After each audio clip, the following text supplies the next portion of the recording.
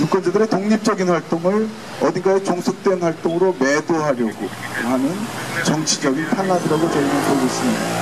저희는 심지어 보수 반변단체들이 했던 그런 선거운동도 사실 저희보다 저희들은 합법적이지만 그분들은 문서 도화에 어, 후보자 이름이나 정당까지 다 적시했기 때문에 현행선거법상으로 보면 위법성 소지가 있습니다만 그런 부분들까지도 저희는 보장돼야 된다고 생각합니다.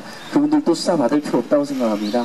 그런 것처럼 총선 랩도 수사받을 필요가 없었고 무혐의라고 다시 한번 확신합니다. 들어가서 잘 묵비하고 잘 최후 진술하고 어, 무혐의를 최대한 확인받고 나오도록 하겠습니다.